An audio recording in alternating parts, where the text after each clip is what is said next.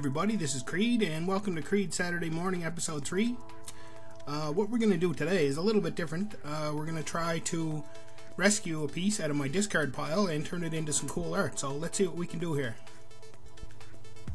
So I started this drawing of one of the Toad ships from Bucky O'Hare and the Toad Wars, but it just, I, I could feel that it just wasn't going how I liked it to go. And for some reason, I just decided to put it aside. I, I actually give things a little bit more of a chance because sometimes I'll pull a really good piece of art out of uh, something I didn't think was going to work out. I don't know about any of you guys if you draw, but I think part of making successful art is uh, you have a few failures once in a while. And this was one of mine. Now, actually, I don't have I don't have a scan of the pencils as they were in my discard pile. I've actually tried to fix this as much as I can with pencils. And I'm at the point now where anything that needs work is symmetrical with something that's already drawn. So that's super easy to fix in, in Photoshop. So all I'm going to do is I'm going to ink the parts that I'm going to copy because I, I find I get the look better in my head if I see inks than just swapping the pencils around.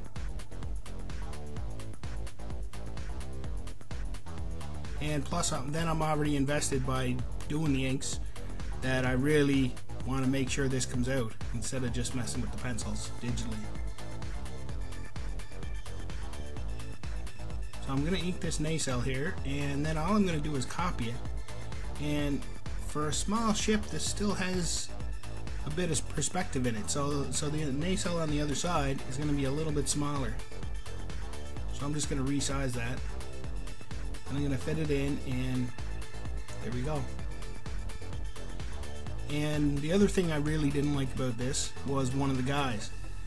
I liked the more squished in look. Um, the cartoon kind of bounces around because both of those are from reference. Uh, it's just drawn differently, different times in different episodes. But I like the I like the squished in guy. And what I always found cool about the cartoon was uh, when the ship gets blasted, those bubbles go all the way around them and they just float around in a bubble. This cartoon actually covers some decently dark themes, but I don't think they're up for having green splotches floating around in space and from destroyed ships, so they they decide to save the guys in bubbles, I guess. Now, Bucky O'Hare and the Toad Wars ran in 1991 for only 13 episodes. And actually, every one of them was really good. It was based on a comic from Continuity Comics, which is now out of business, but was run by Neal Adams, famous Batman artist and he actually co-wrote the final episode.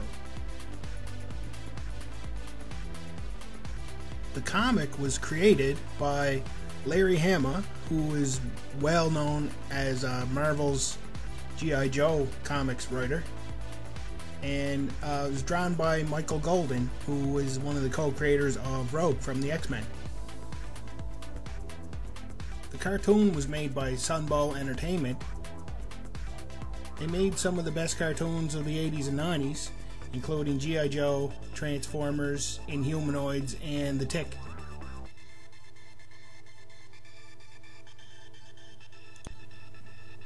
So a lot of what needed fixing here just turned out to be fixable with some cotton paste, which is great. I think that's what made this one more rescuable than anything else I can see in the pile. Is most of the stuff that needed work was just symmetrical stuff that I could just get elsewhere on the piece.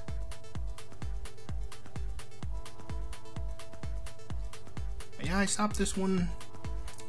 I was about halfway through, and you, sometimes you can just feel that it's just not working out. So I find maybe some time away from it will help because if I if I push myself through, I'll finish it and it'll be done but I will not like it. And almost every time that happens. So I just learned don't don't push it. I always wished I was more like Mr. Dressup. And if you're not from Canada, Mr. Dressup is sort of a combination of Captain Kangaroo mixed with Mr. Rogers, but 10 times cooler. And he was a he was a real artist. He's one of the first people I remember being impressed by seeing somebody draw something. Was the first time it was watching him. And he'd just sit down, he'd go, okay, I'm gonna draw a car, and there's a car, and he'd draw it. And I'm gonna draw it. And he didn't look at anything, and he didn't, you know, it was cartoony, but I mean, that, to be able to just call your shot like that and just draw something, I am not that kind of artist, unfortunately. I'm still super happy that I even have any skill at all, but I really wish I was just one of those guys who could just snap my fingers and make something. I would probably have a day job doing art if I could sit down and somebody come in and go, I need four buildings, a car, and two dogs by this afternoon. But that's that's definitely not how my process works. My art has to come to me.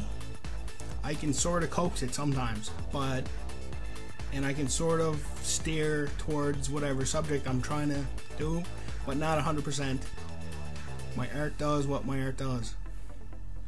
So that's why I decided to draw a lot of stuff instead of being able to draw on demand if somebody wanted a commission.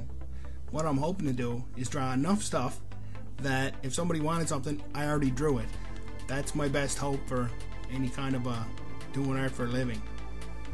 And I am not worried about uh, that it's fan art. Some people are down on fan art.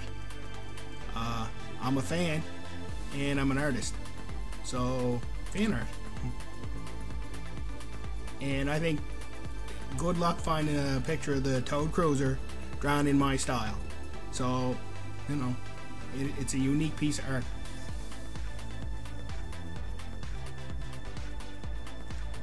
Sometimes I'll draw something and the pencils aren't impressing me, but I know enough now that a really good set of inks and some good colors does wonders.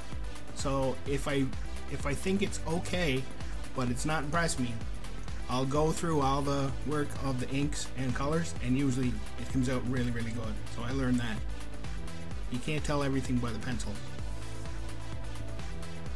And there are different uh, versions of different add-on weapons and stuff for these ships, but uh, I just went with the standard blasters.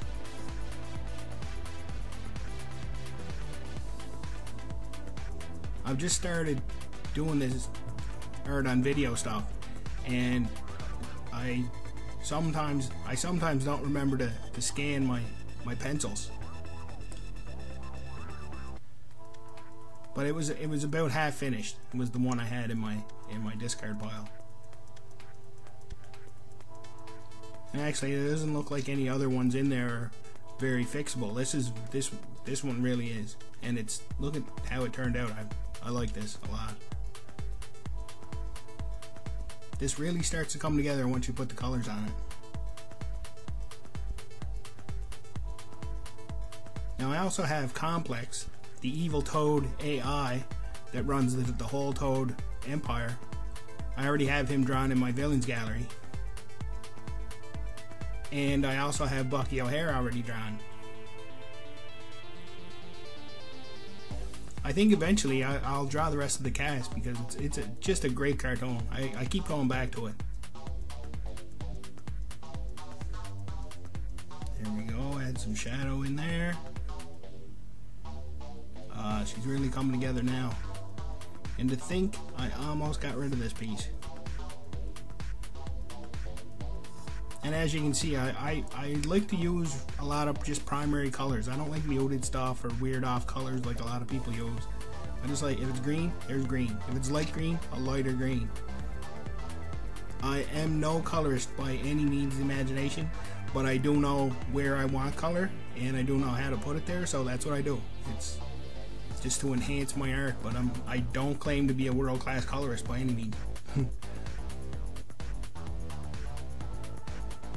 So sometimes the guys are in color bubbles like this, and sometimes in the show there are clear bubbles and you can see all the colors of their uniforms and stuff but I, I like this look. It's like the ship has red eyes.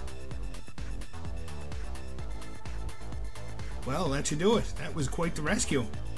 I actually really like the art that came out of that well, thanks for stopping by to see what I was up to, and make sure to come back to see what's next. I'm always drawing something new, so you might want to subscribe and keep up. Here's a couple of video suggestions. Uh, I'd appreciate a thumbs up or a thumbs down, however you feel. And uh, your comments are always welcome. So make sure you come back and check out what's going on, and have a kick ass day.